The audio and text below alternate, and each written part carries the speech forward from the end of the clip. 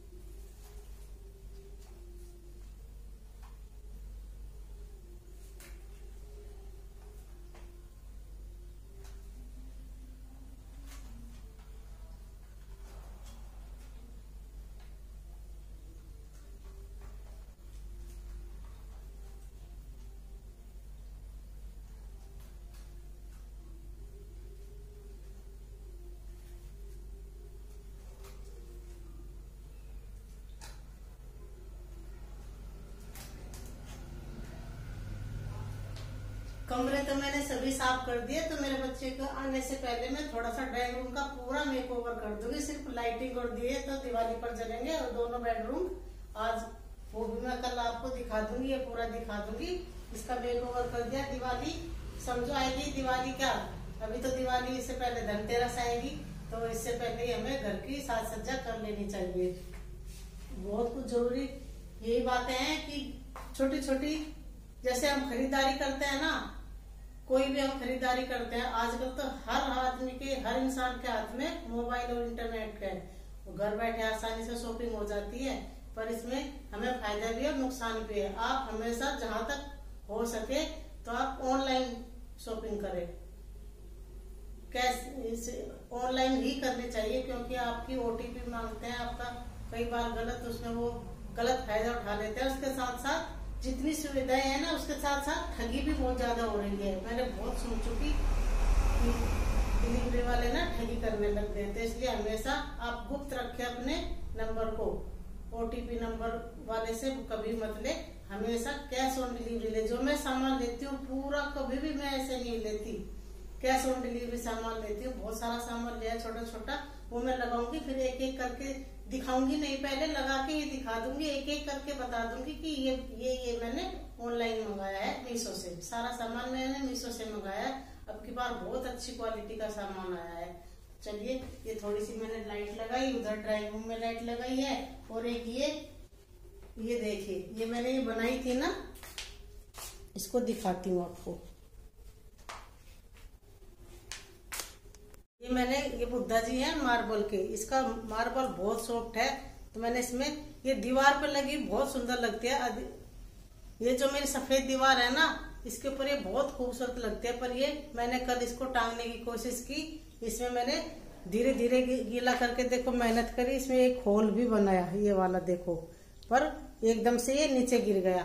तो ये थोड़ा सा टूट भी गया तो वापस मैंने इसमें कलर किया। फिर मैंने एक आइडिया लिया कि ये देखो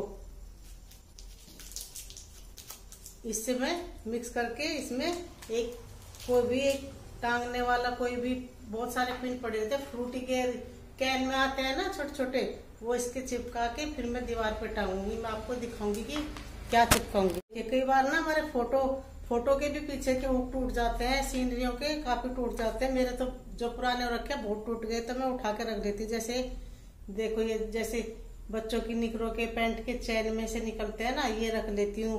और जैसे पीने की फ्रूटी आती है ना कैन में आता है ना ड्रिंक ये वाला, ये देखो, इस तरह का तो इस पे लगा दो फ़ोटो ये इस तरह से यहाँ लगा दो इसको। ये मैंने कई लगा रखे हैं।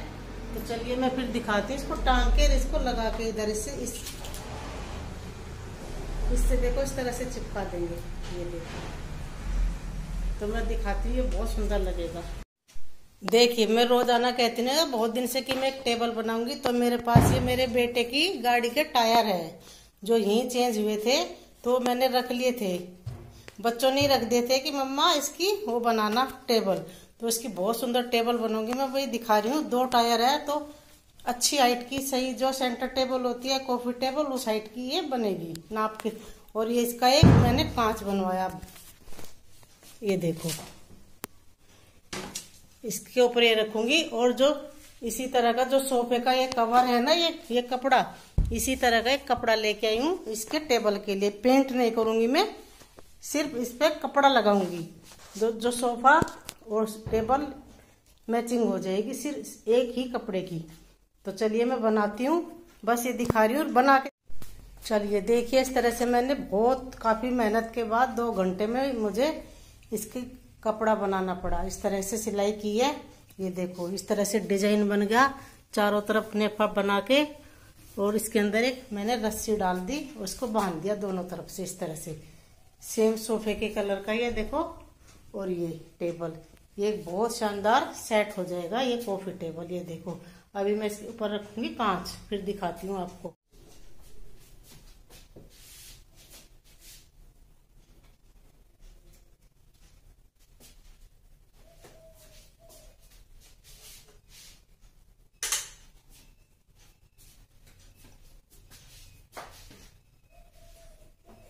मैंने लगा दी है लाइट, जितनी जहाँ जहाँ मुझे लगानी थी, जहाँ तक मेरे से हो सकता था, वहाँ वहाँ मैंने लाइट लगा दी। जो एक बेटा बना के गया था ना झरों का इसके ऊपर मैंने लाइट लगाई, एक कर्टेन में लगाई, बाकी आके बच्चे लगाएँगे। चलिए, आपसे थोड़ी सी बातें करूँगी, और जो मैंने आज टेबल बनाई, वो मैं आपको दिखाऊँगी। उसके बारे में बताऊँगी आपको मैंने कैसे टेबल, कॉफ़ी टेबल। आप बताना आपको ये कैसी लगी? मुझे तो ये बहुत खूबसूरत लगी, मेरी बहुत मेहनत लगी है, इसमें काफ़ी लगी है। तो प्लीज़ मुझे कमेंट करना शेयर करना कि मेरी वीडियो आपको, मेरी टेबल कैसे लगी? ये देखो। पूरा नज़दीक से दिखा देती हूँ कि किस तरह से मैंने इसमें बस सीधा तीन मीटर कपड़ा लिया है, पूरी गोलाई का और दोनों तरफ़ उसमें नेफा लगा के और रस्सी डाल के दोनों तरफ़ से कस के बाँध दिया। और ये इस तरह से है, देखो। ये ऐसे भी रखो तो भी अच्छा लग रहा है इसका डिज़ाइन, देखो। इस तरह से इतना बड़ा कपड़ा लिया तो इस तरह से इसमें चुन्नटे आ गई। और इसके ऊपर मैंने ये पहले ही मंगा लिया था कि मुझे टेबल के ऊपर रखना है। ये देखो। ये देखो। और ये भी बहुत सुंदर लग रहा है। एक टेबल मेरी ये हो गई, ये देखो। कोने वाली। तो फ़िलहाल तो मैं यही दिखाऊँगी पूरा घर। कल या परसों में पूरा घर डेकोर करके आपको दिखा दूँगी। तभी आपसे कुछ देखो, टेबल बनाई मैंने तो इस ये टेबल कितने बड़े बड़े घरों में, होटलों में, फर्नीचर वालों के यहाँ मैंने बहुत दिन से देखती थी, रखी रहती थी, टायर की आजकल बनती है, जो सोफे पे मैचिंग कपड़ा होता है, वही सोफा उसमें लगा के और बना देते हैं। मैंने इसमें इतनी मेहनत की है, दो ढाई घंटे इसमें मेरे लग गए, हाथ दर्द हो गया। पर मैंने इसको अच्छी तरह से कवर करके बड़ी सफ़ाई से इसको आज बनाई डाला। रोज सोचती रहती थी। एक तो टायर उठाने में मुझे लाने में भारी लगते थे। ऊपर से फिर इसके अंदर से मैंने बहुत क्लीनिंग करी, सफ़ाई करी। तब जाके फिर मैंने आज इसको कंप्लीट कर दिया। नहीं तो आज मैं कुशन कवर वगैरह लगाने वाली थी। थोड़ा सा मेरा पेंट रह गया था, वो करने वाली थी, पर नहीं हो पाया। कोई बात नहीं, देव दिवाली तक करके दिखा दूँगी। अभी मैं कल कुशन वगैरह दिखा दूँगी। आज फ़िलहाल जो मैंने छोटी सी वीडियो बनाई है, वो दिखाऊँगी आपको। बस कितना सामान रहेगा? बच्चे आ जाएँगे देखो, त्योहार हमेशा दिल में होना चाहिए। खुशी तो रोज होती है। भगवान को तो हम हमेशा रोज आना मानते हैं। उठते, बैठते, सोते, जागते, प्रकृति को, प्रभु को मानते हैं। पर एक खास तोहफा मिलता है हमें त्योहारों पर, फेस्टिवल पे, कि भगवान से कुछ मांगने का तो संकल्प करे, कुछ भी आप, भगवान, ऐसा नहीं है, सारी इच्छाएँ पूरी करते हैं। बस, मैं तो क्या मांगती हूँ कि बस परिवार खुश रहे खुश रहे, सुखी रहे, स्वस्थ रहे। बाकी तो भगवान ने दे ही रखा है ना सब कुछ। ये और दे दो। सबसे ज़्यादा परिवार के साथ समय बिताने वाली खुशी होती है कि हाँ फेस्टिवल पे बच्चे सब सब इकट्ठे होते हैं तो एक अलग मन में खुशी होती है।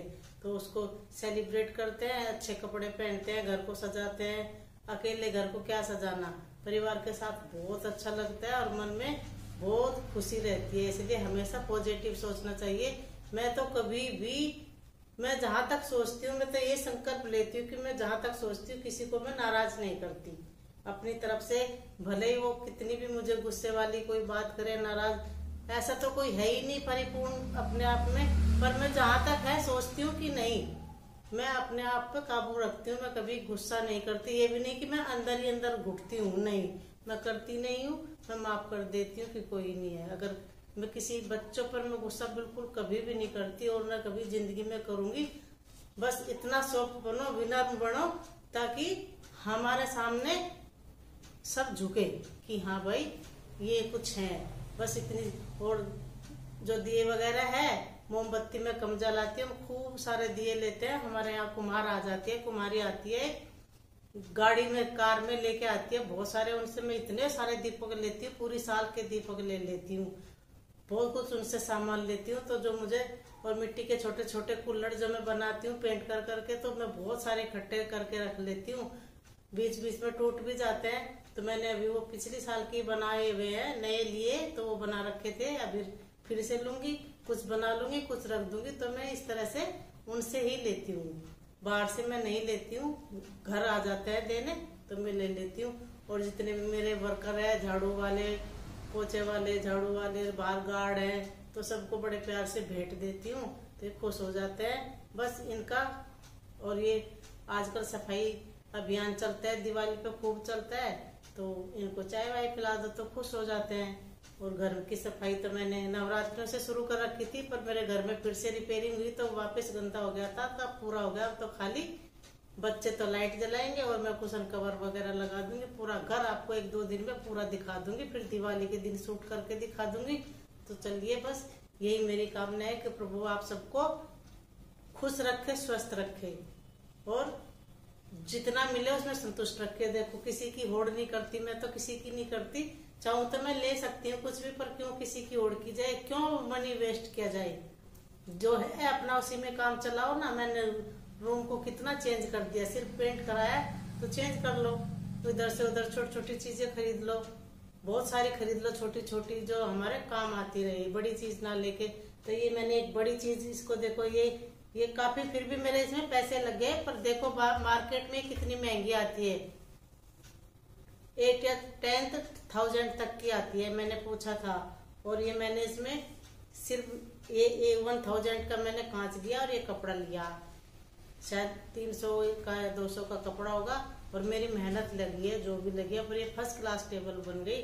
तो आप बताना, मेरी बातें से आप कितनी सहमत हो?